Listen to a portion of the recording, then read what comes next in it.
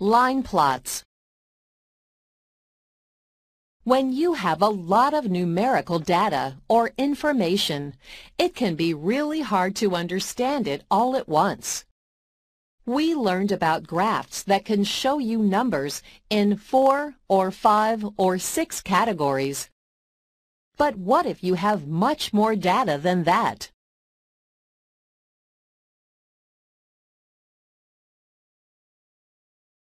Imagine you want to know how many siblings each of your classmates has.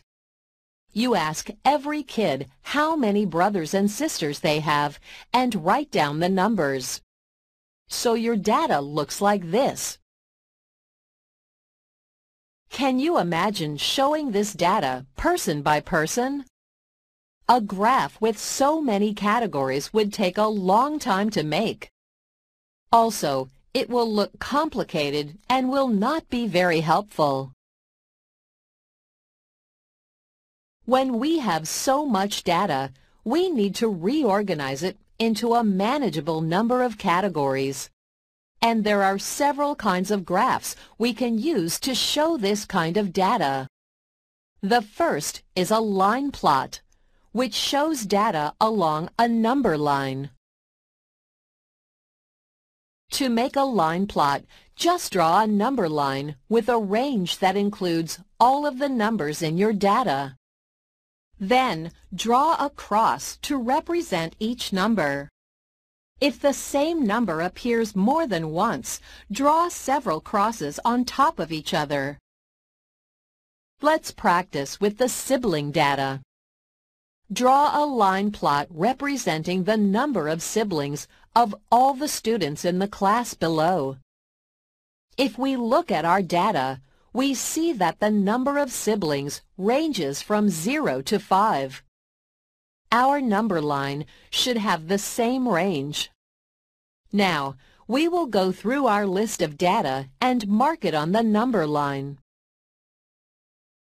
Jenny has zero siblings, so we'll put a cross above zero on our line. Bob has one sibling, so we'll put a cross above the one. We can fill in the rest of the line plot this same way.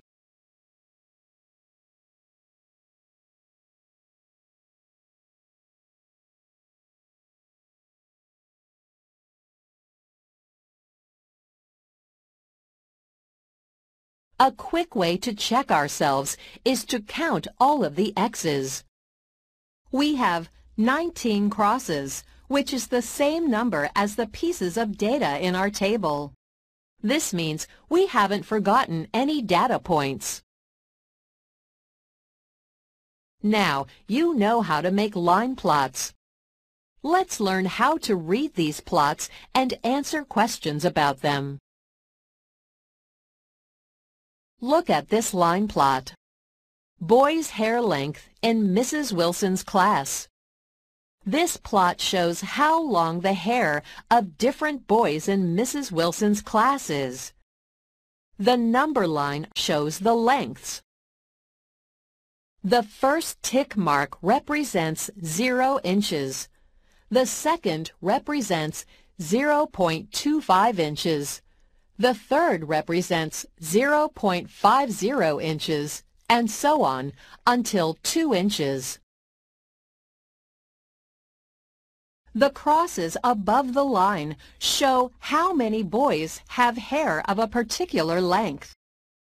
For example, there is no cross above the tick mark labeled 0, so no boys have a hair length of 0. There are three crosses above the 0.75 inch mark. This means that three boys have hair this long. How many boys have hair that is shorter than one inch? There are five crosses to the left of the one-inch mark, so five boys have hair that is shorter than one inch.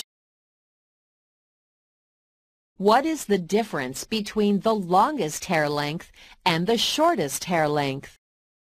The longest hair length is one and a half inches. You can tell because this is the last tick mark that has any crosses above it. The shortest hair length is 0.25 inches, the first tick mark that has a cross above it. The difference, then, is 1.25 inches. Let's try another one. Some kids are reading books over the summer. The line plot shows how many books each kid read. How many kids read four books? The tick mark representing four books must be between the tick marks labeled 3 and 5. There are two crosses above it, so two kids read four books. What was the fewest number of books read? The fewest number of books read is 2. This is the first tick mark that has a cross above it.